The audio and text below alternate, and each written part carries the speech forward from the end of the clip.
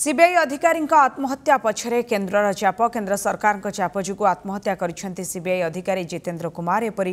गुरुतर अभियोग आनि केन्द्र सरकारको उप बर्षिचिन् दिल्ली उपमुख्यमन्त्री मनीश सिसोदिया विरोध विरोधले हो ममला